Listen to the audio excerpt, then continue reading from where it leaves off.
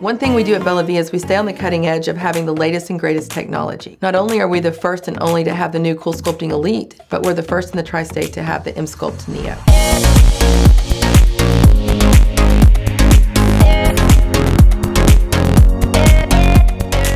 The Emsculpt Neo actually works the muscle and the fat at the same time. It uses radio frequency to cause permanent destruction of the fat cells and at the same time uses electromagnetic energy to tone, strengthen, and tighten the muscles.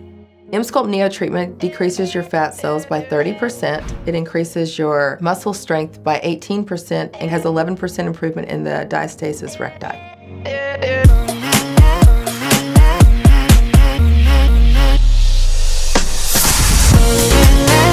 The Emsculpt Neo requires four to six treatments for your initial treatment you do get permanent fat loss, but a lot of people continue a maintenance every 4 to 12 weeks for that added benefit of the muscle stimulation and skin tightening.